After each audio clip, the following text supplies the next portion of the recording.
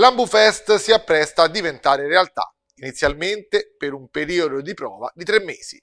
La direttrice generale della Roma 4, Cristina Matranga, ha firmato qualche giorno fa la delibera con la quale si dà il via, a partire dal primo giugno, al nuovo servizio proposto dal referente della Federazione Italiana Medici di Medicina Generale ed ex responsabile USCAR per la ASL Roma 4, Mauro Mocci. Si tratta di uno spazio aperto il sabato e la domenica e nei giorni festivi, dove i medici di medicina generale della città alternandosi in turni in grado di coprire dalle 10 alle 19, si presteranno a visitare pazienti che presentano sintomi non così gravi da richiedere l'accesso al pronto soccorso, alleggerendo così la pressione sul punto di primo accesso. Questione di giorni e sarà anche pubblicato il bando per arruolare i medici che prenderanno servizio all'interno dell'Ambufest, che troverà posto all'interno del consultorio dell'ospedale San Paolo. Uno spazio strategico, soprattutto per la vicinanza con il pronto soccorso, dove all'interno della sala triage sarà affissa una locandina spiegando che per una serie di patologie meno gravi o per richiedere una ricetta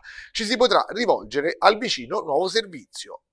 Come detto, in una prima fase questo strumento, già presente in molti comuni della regione Lazio, avrà una durata limitata, una sorta di prova generale di tre mesi per poi renderlo fisso